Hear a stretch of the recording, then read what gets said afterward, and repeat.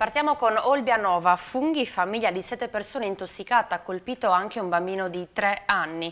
Otto persone sono finite all'ospedale dopo aver consumato un piatto di funghi. I pazienti stanno tutti bene e dopo alcune ore di osservazione sono stati dimessi dall'ospedale di Olbia. Per prima si è presentata una donna di 50 anni con sintomi a carico dell'apparato gastrointestinale. In serata, sempre all'ospedale Giovanni Paolo di Olbia, si è presentato all'ospedale un intero nucleo familiare composto da sette persone, tra cui cui anche un bambino di 3 anni e il più anziano di 60 avevano consumato un piatto, un, un piatto a base di funghi regalato da un amico convinto si trattassero di funghi porcini. E Sassari notizie, Pili, tre morti in 15 giorni nelle carceri sarde. Da due morti a Utta, di cui una inquietante e una sconosciuta sino ad oggi nella colonia penale di Mamone. Si tratta di un'escalation senza precedenti che il DAP sta cercando in tutti i modi di coprire.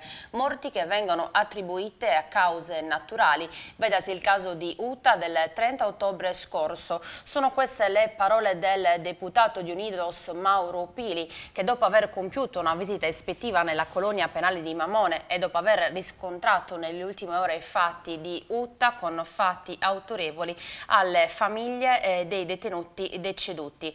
Eh, tutti i fatti verranno presentati dal parlamentare Domani Sardo tramite un'interrogazione con la quale chiederà l'apertura di un'inchiesta ministeriale su quei fatti. Proseguiamo con la Nuova Sardegna. Aerei dal governo Renzi 30 milioni per la continuità territoriale territoriale. L'annuncio del Presidente del Consiglio abbiamo mantenuto l'impegno preso con il Presidente della Regione Francesco Pigliaro. Lo ha annunciato il Presidente del Consiglio dei Ministri Matteo Renzi in una conferenza stampa in cui ha illustrato 12 buone notizie attese da tempo. La questione dei collegamenti aerei con l'isola era inclusa nel dossier Sardegna consegnato il 28 maggio scorso dalla Regione al Premier in occasione della sua visita a Olbia per l'inaugurazione del, del cantiere Matter di Olbia. Proseguiamo con le cronache noresi, escursionista di Gavoi si fortuna tra Oliena e Dorgali. L'incidente si è verificato ieri mattina nelle campagne appunto per il recupero si è reso necessario l'intervento dell'Ili Soccorso e dei Vigili del Fuoco. Un escursionista di Gavoi di quel momento non si conoscono le generalità si è infortunato durante un'escursione in compagnia degli amici. Il TV.it Quartus Sant'Elena a fuoco l'auto di un agente di commercio commercio. Ancora un'auto incendiata a Quartus Sant'Elena nel Mirino è finita all'Audi A1 di un agente di commercio di 35 anni.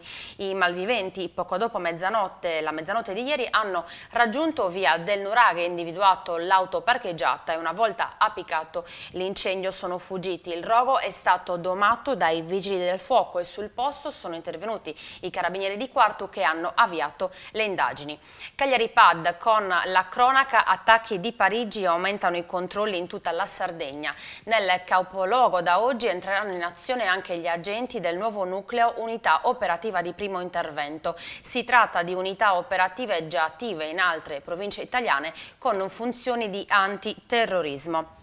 Sotto i riflettori, come era facile immaginare, porti e aeroporti dell'isola, obiettivi sensibili come le ambasciate, ma anche luoghi di aggregazione dove si possono radunare giovani e meno giovani. Il prefetto di Cagliari, Giuliana Perrotta, ieri ha convocato una riunione urgente con tutte le forze di polizia per pianificare l'attività di controllo del territorio e l'aumento delle pattuglie in strada.